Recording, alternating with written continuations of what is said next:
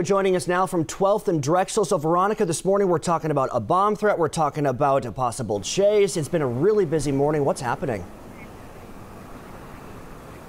Well, that police case that you just mentioned right now, that all ended right here. This is over at Drexel Road and 12th Avenue, but it all started over at the Tucson International Airport, where airport authorities say that they got calls about a man driving on the airfield, and then they chased him around the airfield, drove through a fence, went about four miles to this location here. But I'm going to step out of the frame so you can see what's happening right here. You see Tucson police is here. They're investigating the situation. They got involved, they say, when they got a call from this man as he's being chased by police saying that he had a bomb in his car. But we do know at this time, we talked to police earlier at the scene, and they did say they did not find a bomb or any explosives that this man did have in his car. And it looks like right now the man could be facing multiple felony charges. That's from both the airport authorities and the Tucson Police Department. We also know no damages reported, no injuries reported. And if you do plan on taking a flight later this morning over at the airport, you're going to have no delays with those air flights. But as in Tucson Police continue to investigate this situation here.